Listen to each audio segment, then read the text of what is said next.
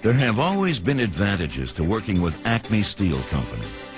Being an integrated steelmaker gives Acme a quality advantage and provides our customers with top quality steel products. Acme's position as North America's most flexible integrated steelmaker also works to the company's advantage, helping it carve out market niches among customers looking for specific or specialized steels in small order quantities. In the autumn of 1996, Acme completed its new compact strip production facility in Riverdale, Illinois, which made the introduction of minigrated steel a reality and redefined the steelmaking process. For the first time anywhere in the world, Acme Steel combined the high-quality benefits of integrated steelmaking techniques with the efficiencies of state-of-the-art thin slab casting and rolling technology. The result is minigrated steel, the most important advance in steelmaking in over a quarter century. And the advantages belong to Acme's customers and shareholders.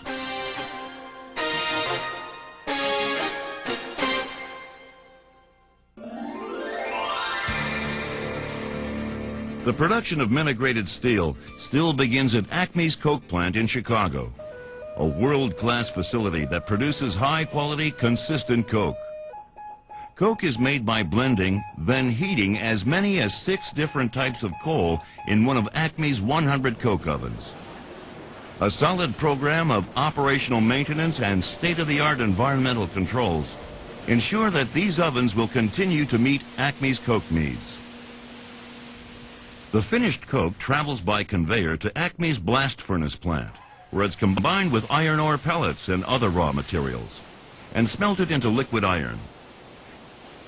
Smelting occurs when a blast of air heated to 1875 degrees is blown through the burden and burns the coke, converting the iron ore pellets into molten iron.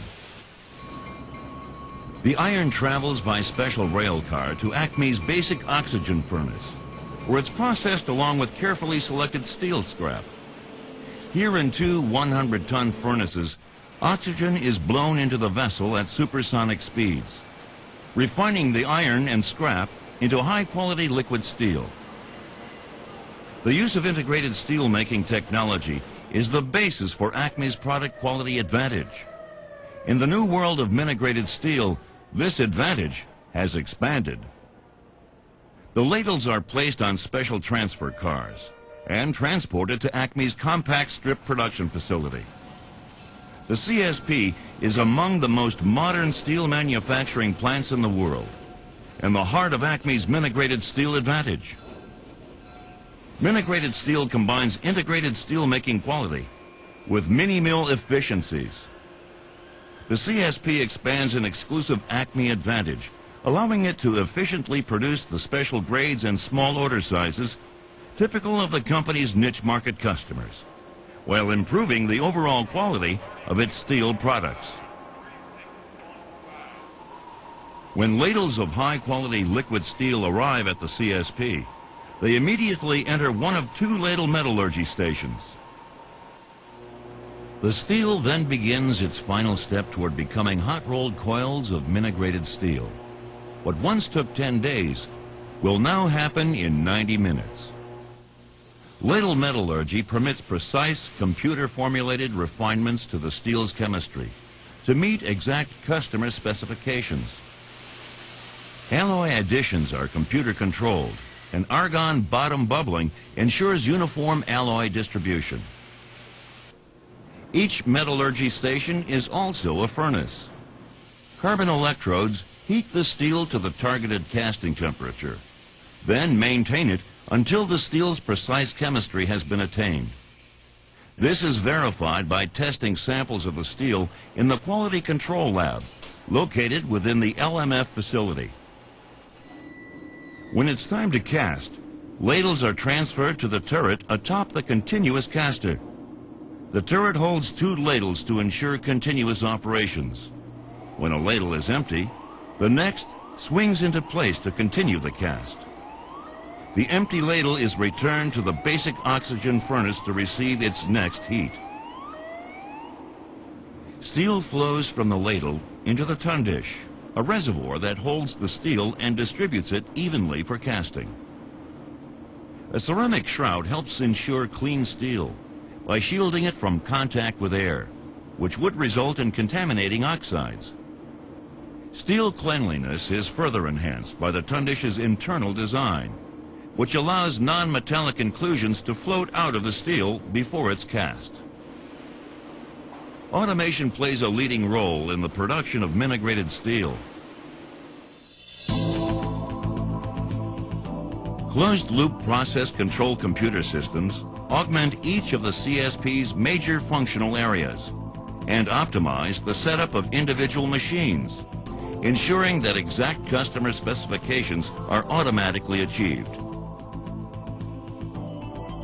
That data is relayed to a production planning and scheduling computer system, which oversees the facility's operation by creating an optimal production schedule. It combines an analysis of current sales and factory orders with data from the closed-loop computer systems. The computer then configures the schedule that is most advantageous to the customer and Acme. As casting begins, the steel flows from the tundish into a copper water-cooled mold. A specially designed nozzle prevents oxidation and optimizes steel flow into the mold. While a skin begins to form on the steel's outside surface, the water-cooled mold oscillates up and down, to strip itself from the solidifying shell. Mold powder, which covers the steel surface, is added to further prevent oxidation. And after melting, lubricates the steel as it travels down through the mold. Two enhancements to Acme's caster provide improved product surface quality. An electromagnetic brake acts as a damper to quiet the steel's wave action at the top of the mold and a hydraulic mold oscillator controls the amplitude and frequency of the oscillation movement. This represents an improvement over traditional mechanical oscillators and enables Acme to cast alloy and mid and high carbon grades of steel. The caster's adjustable width feature gives Acme the flexibility to produce a wider product range during a cast. With its state-of-the-art production control systems, Acme is also able to quickly react to customer changes by reapplying its product in real time automatically. As the steel moves through the caster's containment zone, a gradually thickening skin forms on the slab's exterior. A major quality evaluation is automatically performed on a number of casting variables, ensuring that the steel will meet the customer's exact physical and mechanical specifications. Two additional enhancements provide increased product quality. A spray mist system allows more uniform efficient cooling, improving surface quality. Soft reduction improves internal quality by preventing centerline segregation. As the approximately 2-inch thick slab emerges, it's automatically sheared to the length required for a customer's maximum coil outside diameter.